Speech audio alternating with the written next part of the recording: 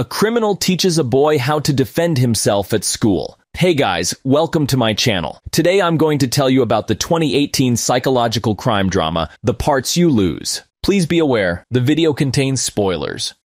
What the hell's wrong with you? And stop acting like such a goddamn pussy and swing that thing like you mean it. Wesley is waiting for a school bus on a North Dakota country road. He gets on the bus and sits in the back seat. The bus passes by a group of kids who throw snowballs at it and call it the retard rocket. At the school for deaf children, they are learning how to sign the Pledge of Allegiance in sign language. One of Wesley's classmates is always bullying him by rubbing boogers in his hair, but Wesley pretends not to notice. He gets off the school bus on the side of the road and walks home through the woods. They live in a small commune. During the family dinner, Wesley's mother, Gail, reads the mortgage delinquency notice. She asks what the kids want for dinner. Wesley's sister, Amber, says she wants a crocodile for dessert. They joke about it and they seem to have a great time. After dinner, Wesley plays checkers with his mom and beats her, but it looks like his mother just lets him win in order to motivate Wesley. The next day on his way to school, Wesley notices a huge roadblock. There are a lot of police cars and an ambulance near the building. When he comes home from school, his mother says that his father Ronnie has returned home after being away for a long time. Wesley is a bit reluctant when his father asks him to hug him. The kid is far from happy to see his father, but he still hugs the man. They are getting ready for dinner. Ronnie works as a truck driver and says he doesn't know when his boss will send him on another trip. He asks Wesley to move from his seat. Over dinner, Ronnie talks about a shooting that happened nearby. It claimed four lives and made a lot of noise in the news. Gail changes the subject and says that Wesley scored 95 on the history test and made a mistake in just one question about the Battle of Saratoga. His father isn't really moved by his performance. He just manages to articulate the phrase, Well, um, Saratoga, that's a, that's a tough one. The mother asks Wesley whether he wants any more food and dubs these words in sign language. Ronnie wants her to stop doing it because the kid can read lips and wears a hearing aid, and they should treat him as a normal person. He seems especially annoyed by this. Gail replies that it is easier for Wesley to understand words that way. Ronnie says that it'll be difficult for him to adapt to life in society later. Gail then asks Wesley without signing, and he nods. Ronnie contentedly says that the boy can hear just fine. The next morning, Ronnie tells Wesley that his mother is spending the night at his grandmother's in Bismarck, and that he will look after him. He gives Wesley a lunch bag. At school, when Wesley opens his lunch, the bully rubs boogers on his hair again. Wesley still doesn't stand up for himself and lets it slide. On the way home, he finds a man lying in the snow with a duffel bag. The homeless looking guy shushes him. His hands are covered in blood, and it looks like he's been lying there for a long time. Wesley runs away from him. He calls his father for help, but the man is repairing a tractor and doesn't want to be distracted. He doesn't even understand the signs of Wesley. I don't know what that means. Can you write it down for Christ's sake? Wesley decides to run down where the man was lying, and his father follows him. When they get back to the place, Wesley sees that the man is already left. Ronnie tells his son to go home. At dinner, Ronnie asks Wesley to pass him the salt, You pass me a salt. but the son doesn't hear him. Then he tries shouting and scares his daughter by doing so. Salt! Ronnie slams his fist on the table for Wesley to feel it. In the evening, Wesley comes out of his bedroom and decides to look for the homeless man.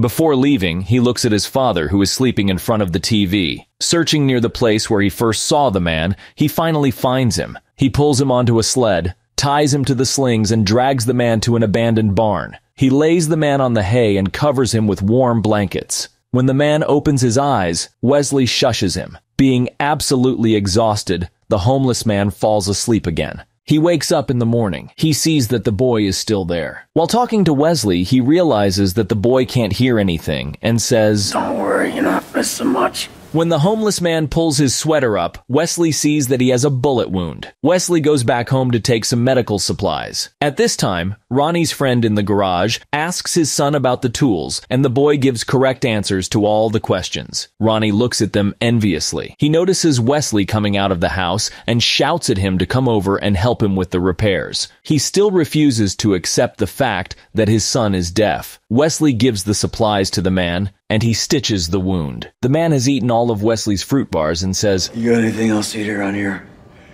Besides fruit snacks? The TV broadcast tells about the shooting that happened earlier. While his parents are watching the broadcast, Wesley puts his dinner in a toy box. Ronnie leaves home on the pretext that he needs to meet a colleague. Wesley brings the man food, and the man notes that his mom is a very good cook. Then he explains to him that he can't stay any more time here as he needs to meet a friend. He tries to get up and having failed to make even a couple of steps. They also can hear the search helicopter flying past. He asks Wesley for a favor. The man gives instructions to him on what to do. He tells him to go to a roadside cafe. Wesley leaves the man's ring on one of the trucks. The truck driver leaves the cafe with a girl of easy virtue. Seeing the ring on his truck, the trucker picks Wesley up as well. The boy hands the truck driver an envelope, but refuses to say where the man is. At this moment, a police car passes by. The truck driver says that he needs some time to arrange everything, and that it will take at least a couple of weeks. He gives Wesley a paper bag. When Wesley gets back, he passes the bag to the man. He pulls a phone out of it and tells Wesley that he will have to stay there a little longer than he expected. The boy brings him some of his father's warm clothes. Wesley watches the man exercise and tries to imitate his actions. The man approaches him and teaches him how to do pull-ups. A little later, Wesley is watching TV with his sister. When his mother comes home, she asks him about school and the bully. His father comes home with firewood in his hands. He scatters some chalks and Wesley rushes to give him a hand. But instead of carrying them, he starts to stack them up for his father to carry.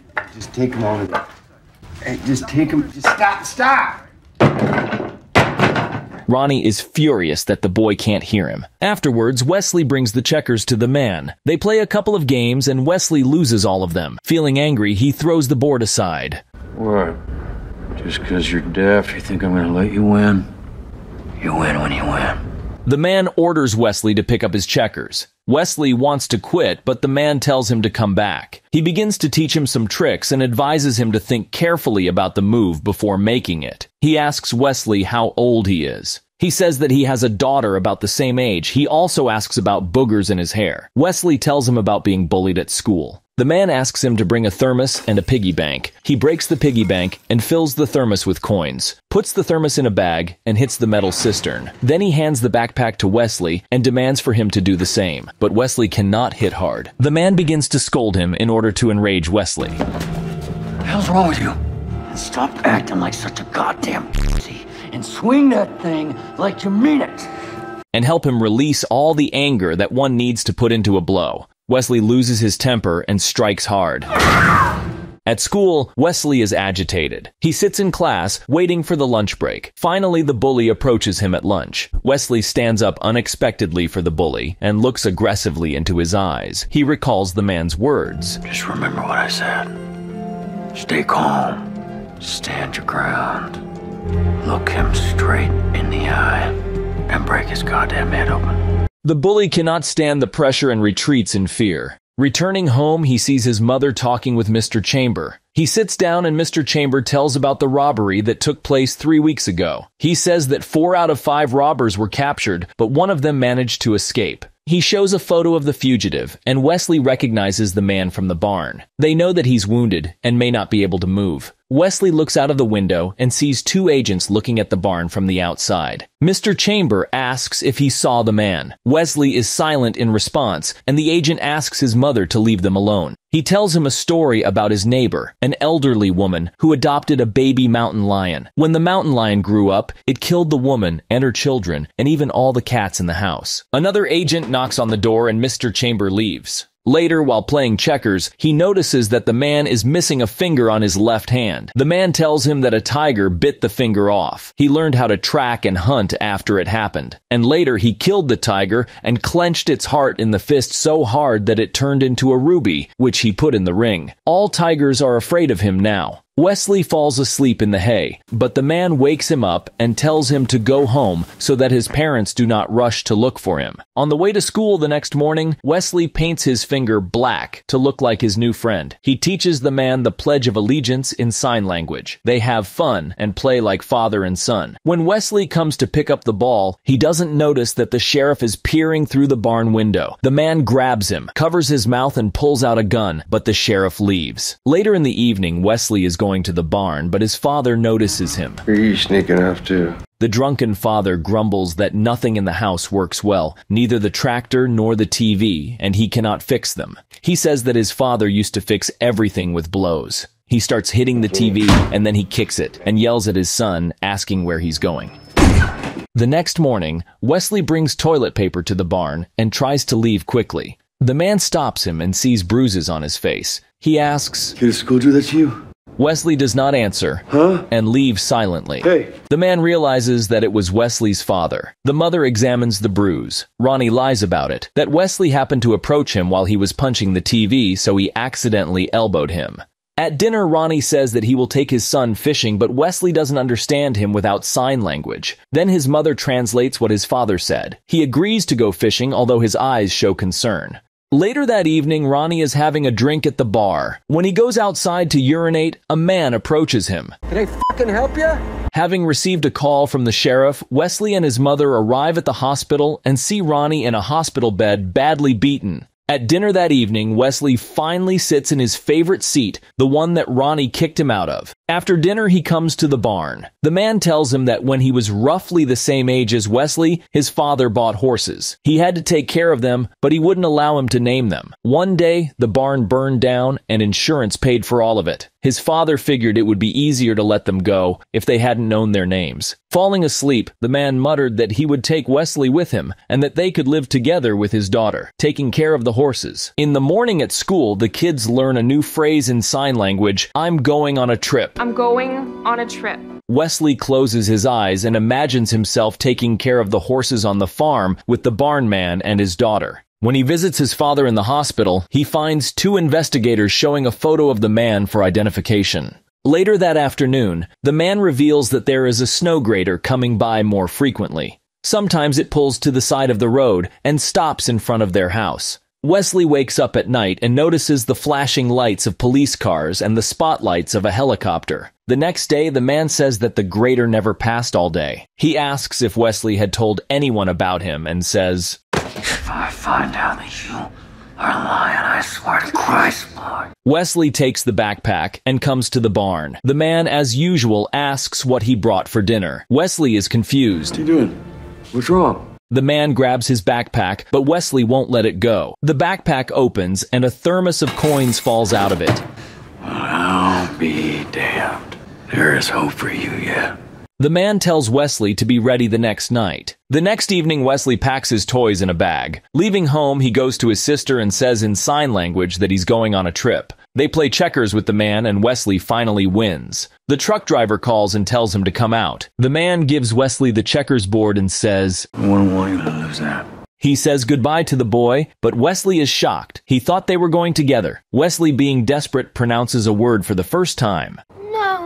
He grabs the man and doesn't let him go. The man tries to explain it, but Wesley won't hear him. The man is forced to rudely push the kid away. He tells him to get out. Wesley runs out of the barn, and a policeman grabs him, and Wesley drops the checkerboard. Sitting in a police car, the boy sees how Mr. Chambers orders the assault. Wesley notices the truck driver in another police car. The man starts shooting and they kill him. Wesley tries to scream in grief, but he can't make a sound. The next day, he finds a checkers board filled with money near the barn. On top of it, there lies the man's ring. When he comes home, he sees his father. Wesley doesn't afraid him anymore. Why don't you come over here and give your old man a squeeze? He condescendingly approaches unhappy and angry man and hugs him. Wesley goes to his room. He sits in his bed and puts the ring on his finger. This was the recap of the movie The Parts You Lose. If you liked it, please give this video a thumbs up and subscribe to my channel. You can also watch other reviews on the channel by clicking on this pictures. See you soon.